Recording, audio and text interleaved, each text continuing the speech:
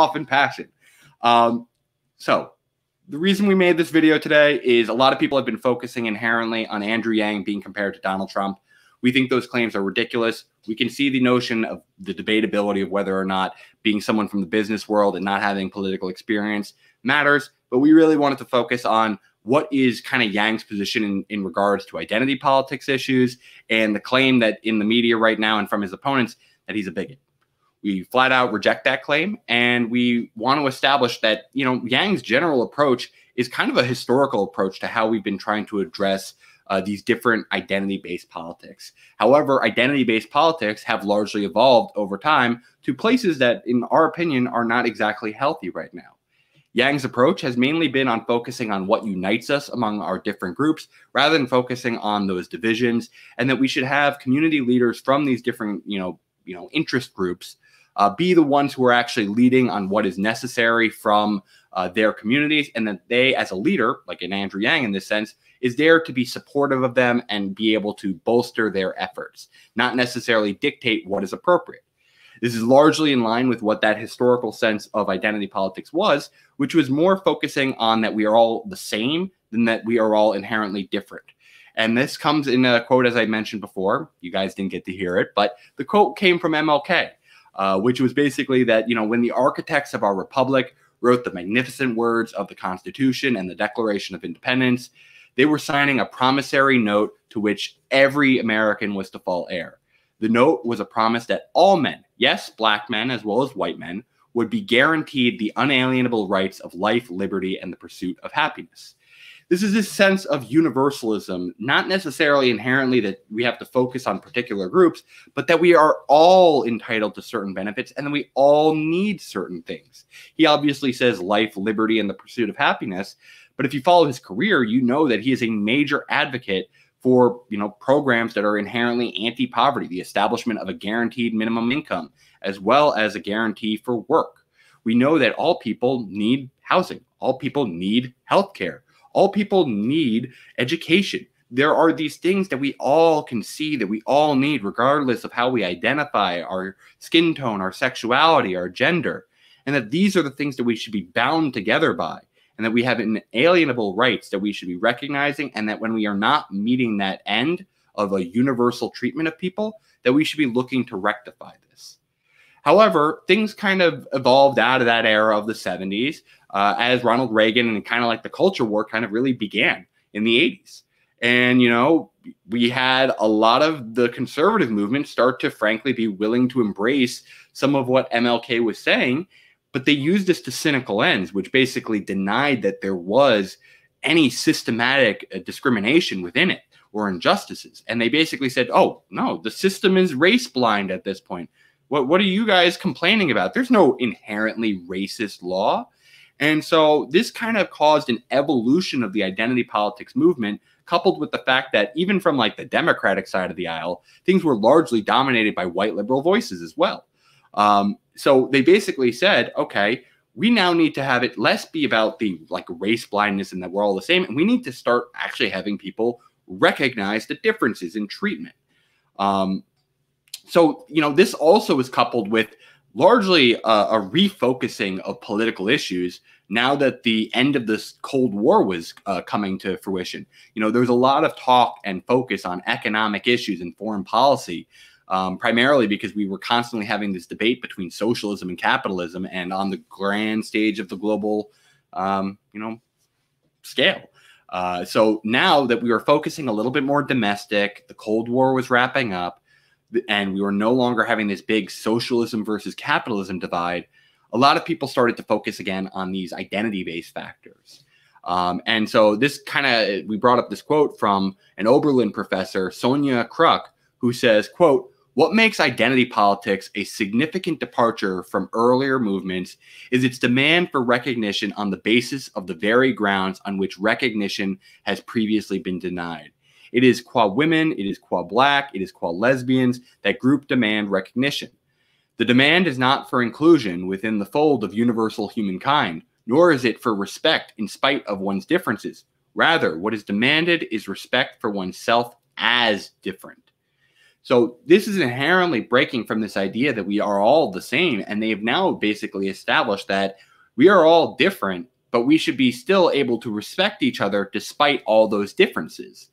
And so this is largely, you know, reached a kind of more exacerbated place. You know, for much of the left today, you know, anyone who speaks in favor of, you know, this idea of us having these universal commons or kind of like this group blindness is considered on the other side or, you know, considered indifferent to the to the blights of these other communities or even frankly they'll be accused of being guilty of oppression themselves uh, for some you know especially like i'll admit in my own experience like uh, on college campuses um, you know if you don't kind of swallow this whole idea of anti-oppression kind of orthodoxy, you're you're deemed a racist. Now, don't get me wrong. I'm not in the slightest denying that there is not systematic inequality. We've talked about that plenty on the program.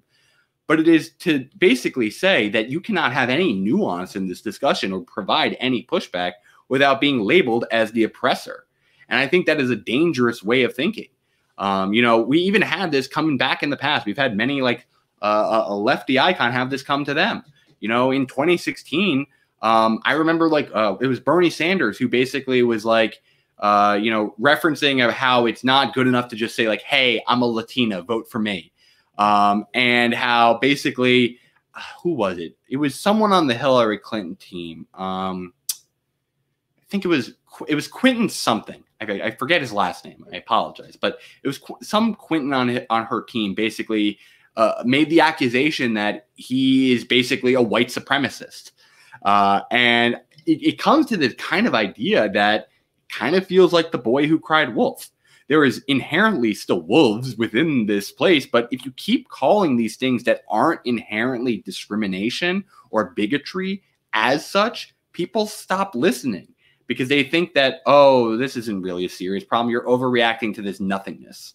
And so I think we really need to kind of lock in on, you know, being realistic with what are the inherent problems and also knowing when is someone just being an absolutely ridiculous reactionary. Um, and so to come back now, let's circle back to the Andrew Yang and like the New York City race.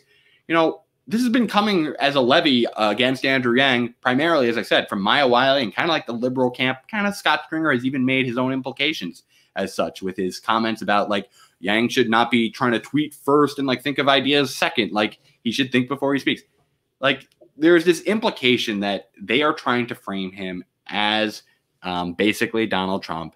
And I would say that even their own records, I'd say, hey, like, do we really want to go down this path of bad mouthing each other uh, on these issues? We can go into Maya Wiley's record about the de Blasio administration and how she was basically the main advisor through two of his biggest scandals uh, you know, from solicitation of donations from entities within city businesses, as well as uh, shielding communications from outside political advisors who she dubbed like agents of the city, which kind of implies that sometimes this identity politics is frankly being used to be shields for actual corruption. Uh, and then you have the people like Scott Stringer, who frankly, we can even go on an identity politics front. The dude hired uh, Micah Lasher as his campaign manager. The dude is an outwardly racist person in his past campaigns uh, and has been accused of such by Reverend Al Sharpton even during this cycle uh, when uh, he was announced as Scott Stringer's campaign manager for basically using very racist tropes uh, in, I think it was a 2001 race. Um, who was running? It was. Um,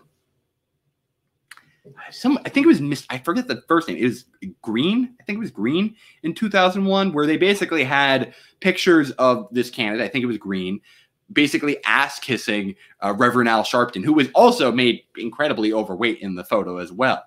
Um, and so he has been called on this. He's also been called on uh, being like privy in a lot of the other communications that have been coming out in like reports to the New York Post. Uh, so it's like there is damaging things that we can really start doing this game. But Andrew Yang doesn't want to do this approach and getting into the mud. He wants to focus on his positive vision. And I'm not even bringing up Eric Adams. There's a whole litany of things that we can be said, like supporting Louis Farrakhan, uh, supporting Stop and Frisk. Um, he said that like people who are non-natives should go move back to Iowa and Ohio. oh God, what else is he? Oh, oh, he he has con- he condemned a past opponent of his, um, Her- Herman Badillo, uh, uh, for interracial marriage. He said he should have married a Latina instead of a Jewish woman. Uh, dude was even a Republican until the late '90s. Uh, so like. I can say these things, but the, the real focus of the Yang campaign has been focusing on his own positive message. And so I want to talk about some of the things where it's just clear that Yang himself doesn't fit that caricature. You know, the most recent one, which is what kind of inspired me to make this video, which it felt like, okay, they're doing the culmination of let's get all the different bigotry groups that we want to throw at Yang under one sun. Uh, he got recently criticized for some comments that he had made at an LGBTQ uh, forum with the Stonewall Democrats. And so, you know, I think it's it's very clear. I, I watched that interview myself that he is not a bigot. I'll admit, I think he had some statements that made him seem a little bit less comfortable working with that group than um, some other people might be. I think he came off a little bit of corny and, frankly, kind of came off giving a very suburban vibe. That's that's how I'm going to put it out there. Under no circumstance did anything that he said there come even close to bigotry. Not even close. It could be corny versions of love. Like I think he had said, like, you're all very beautiful and very human. All again, compliments. And like he has no like gripes with these communities where you know he has a large level of representation within his campaigns. Uh, his two campaign managers, Chris Coffey as well as Sasha Ahuja, uh, are both members of the LGBTQ community. His past co- uh, campaign co-chair uh, from his presidential run, Evan Low, is a member of the LGBTQ community.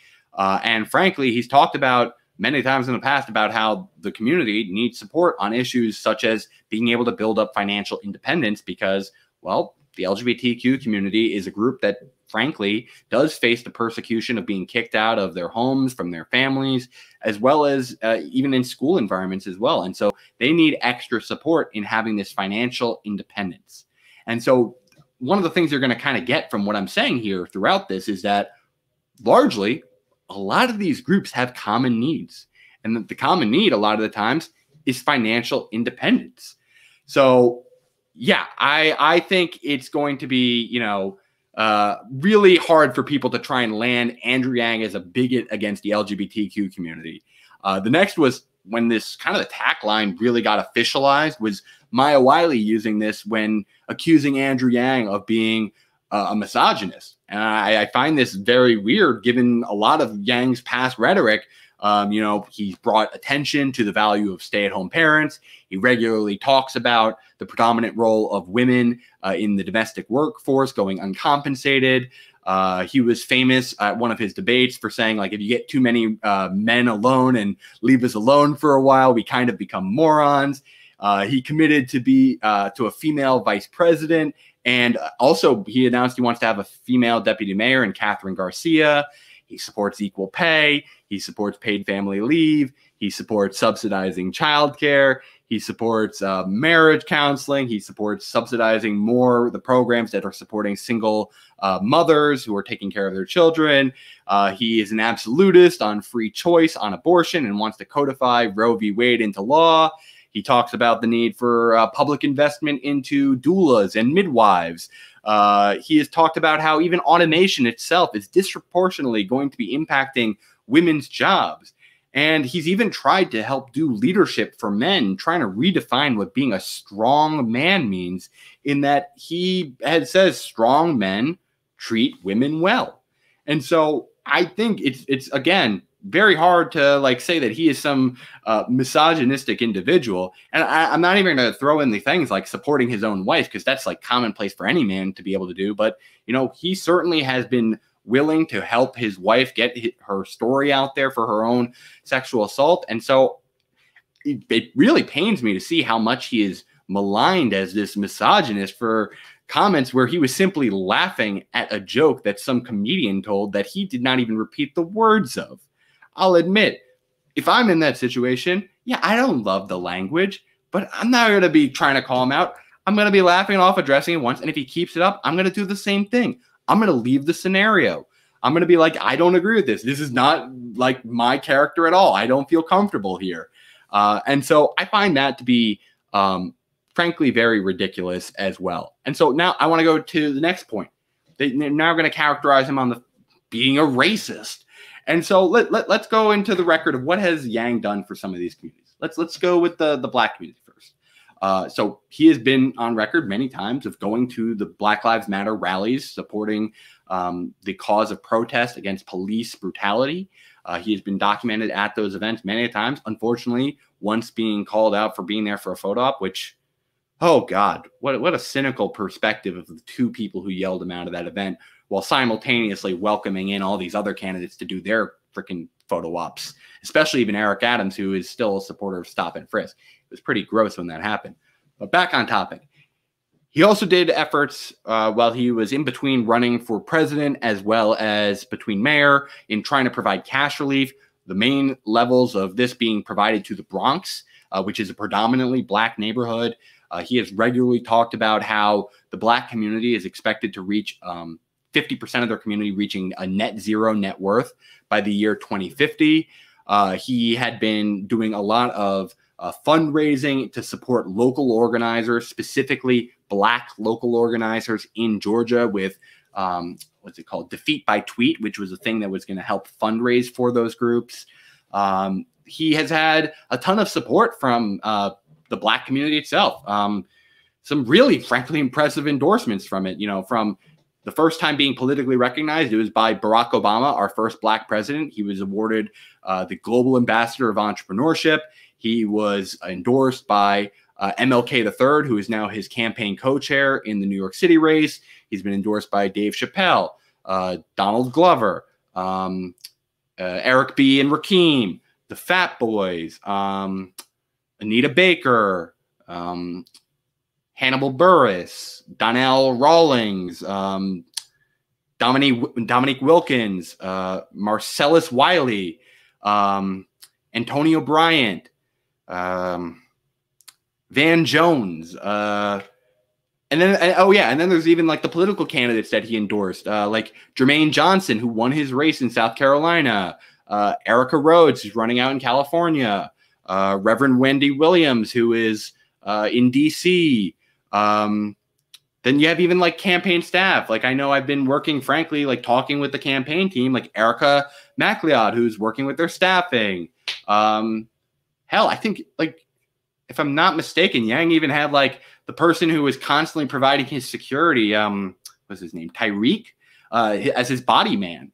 Uh, so he has constantly been supportive of the black community, and I, I, would I would challenge anyone who says that he is there to just pander to be like, okay, like, are you not just being a cynical political right now? Like, get get to know the man. He actually has genuine love for these communities, and like, let's take a moment to compare these things to like Donald Trump. Because that's the thing. We made this whole video because they're literally calling him a mini Trump. Let's compare. What what is Trump doing in comparison?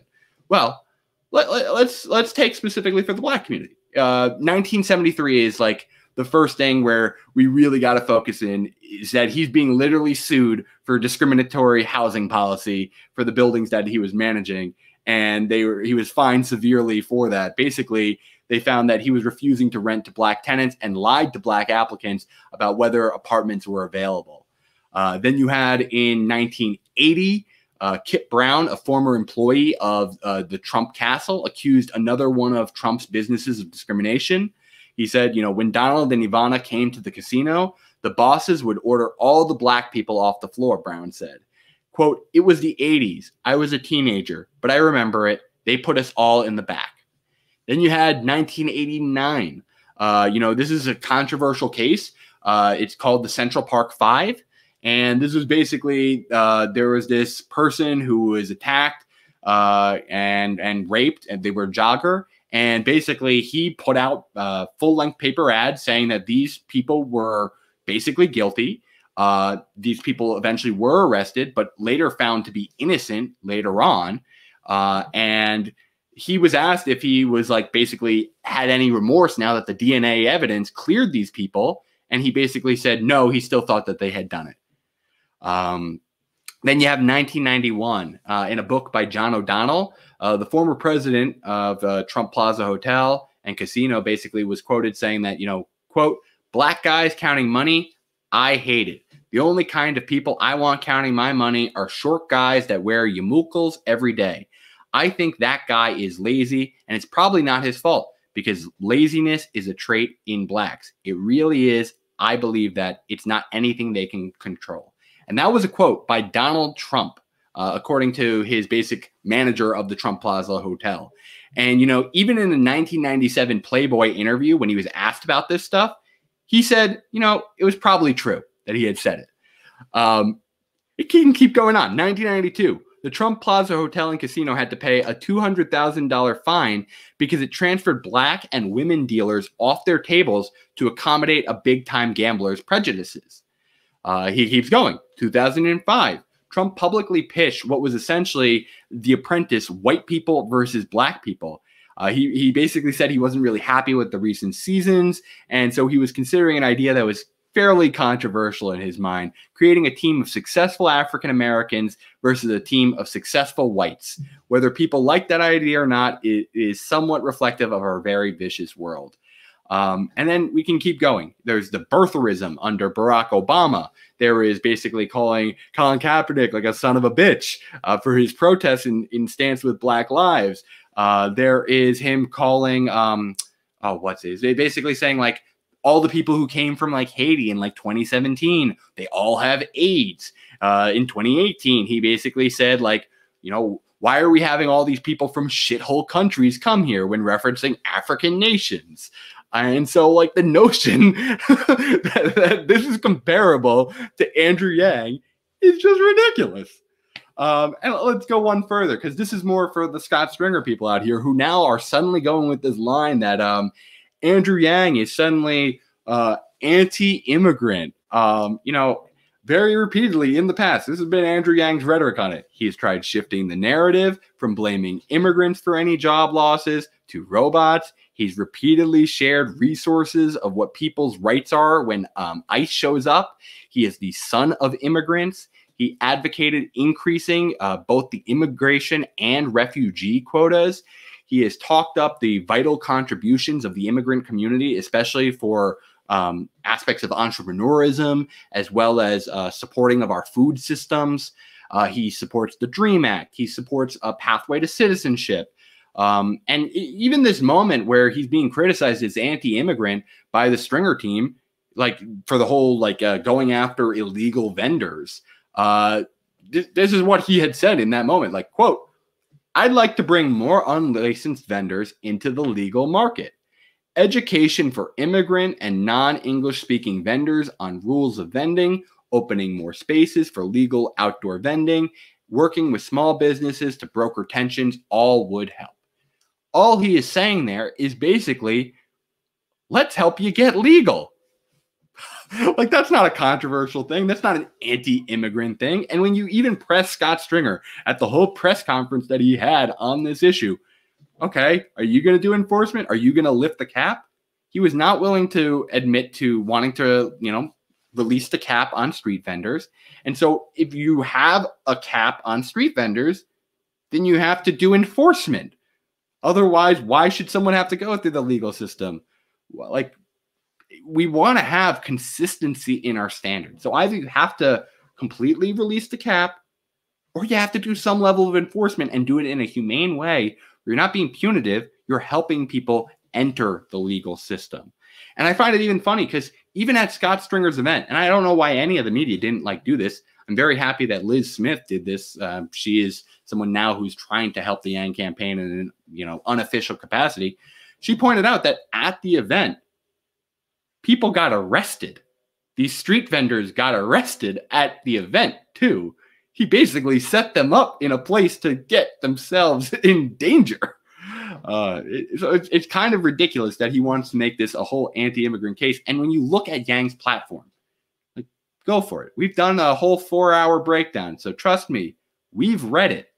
He reemphasizes over and over again how all benefits that he talks about in his platform would be eligible for all, and how New York City would be a true sanctuary city.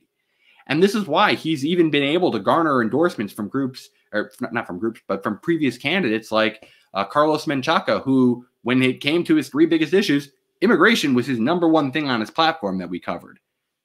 So this notion that he's suddenly anti-immigrant, again, falls flat on its face. And I'm not even going to go with the idea of let's compare this to Donald Trump, the guy who basically said that like we need a, a total shutdown of Muslims entering the country or and referred to Mexicans as rapists. Don't get me freaking wrong. Like this is an obviously on its face stupid comparison. And Stringer and Wiley should feel stupid for it. Their bases should feel stupid for supporting people who would say such a thing. And so I ask yourself, what, what's the value of this modern, you know, identity politics, this exclusionary sense of, you know, you have to recognize all of our differences. And if you're not from us, you're basically out of touch and you should not be, you know, welcomed within it. Um, I say that it creates a very negative counter identity politics uh, that's frankly existed for a while and gets exacerbated the more we divide ourselves into tribes, which is white identity politics, which frankly gets embraced a lot by the right. And I'm going to give a quote um, from a piece in the American Conservative done by Rod Dreher talking about this subject because I legitimately want to give you all what is the actual perspective that they give, not us making assumptions about what they believe, what they actually believe for why they do these things. So he is quoted as such quote, I'm a white guy.